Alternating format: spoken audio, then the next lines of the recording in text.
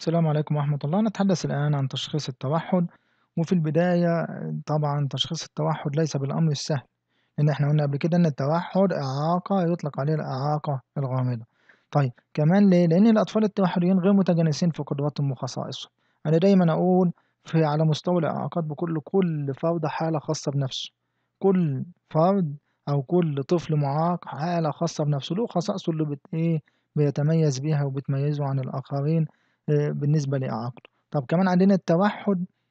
من الإعاقات اللي إحنا قُلنا عليها تشخيصها إلى حدٍ ما بيكون صعب، ولكن بدأت تكون في اختبارات إذا كانت عربية أو مترجمة عن اختبارات أجنبية خاصة بالتوحُّد في وطننا العربي. طيب من أول الناس طبعًا زي ما إحنا قُلنا اللي تحدثوا عن التوحُّد كان كَنَر،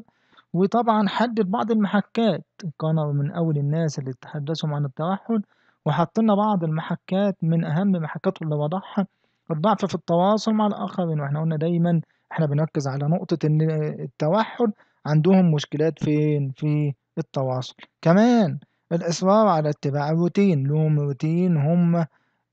يعني بالنسبة لهم أساسي. يعني أنا متذكر أنا كان عندي حالة من حالات التوحُّد يعني له مكان خاص ب آآ أشياؤه الخاصة لازم تتحط في نفس المكان، لو اتنقلت أو اتحرّكت لأ، يحطها في نفس المكان بحدود محددة. طيب كمان عندنا ظهور نمط لغوي غير مفيد في التواصل الاجتماعي، برضه في نمط لغوي مفيد في التواصل غير مفيد في التواصل، يعني اللغة اللي عندهم يعني غير مفيدة في التواصل الاجتماعي. في بعض الأحيان بتبقى عندهم حالات عندها ذاكرة جيدة، يعني في اختبارات الذكاء أو ذاكرة جيدة في مجالات معيّنة، وأنا برضه متذكر كان عندي حالة من الحالات التوحُّد كان عنده قدرة قوية جدًا في إجراء العمليات الحسابية إذا كانت جمع أو ضرب أو طرح، فكان بالنسبة له شيء مميز. كمان في نقطة كنت عايز نتكلّم عليها الإصرار على اتباع روتين، إن التوحُّد أو أطفال التوحُّد عندهم آآ روتين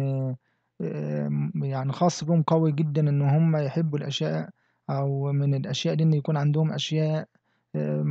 موضوعة في مكان معيّن بنفس الحدود، بنفس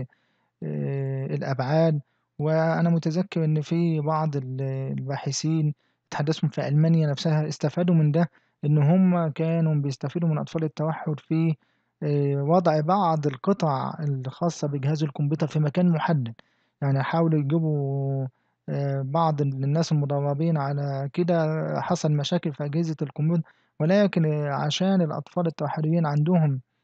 يعني سلوكيات خاصة بيهم أو محددة جدًا، كانوا بيستفيدوا منهم في النقطة دي، وطبعًا يعني بصراحة يعني أنتجوا إنتاج